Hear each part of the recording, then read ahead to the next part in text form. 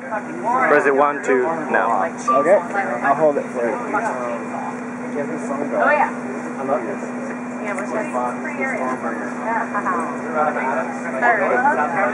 So, uh, you gotta check out this. Okay. Excuse me. I only wear jewelry if you give me, That's I a did bad one. I I have to do that again. Okay. like this, you can't really black pearls and like little skulls, okay? Yeah, And so like I was on the set Stand over here. All right, you got it. Last night. And I was looking at these. One, two, now. Yeah. It's like twenty-five dollars. I love that spot. It's not a good oh, thing you don't make this anymore.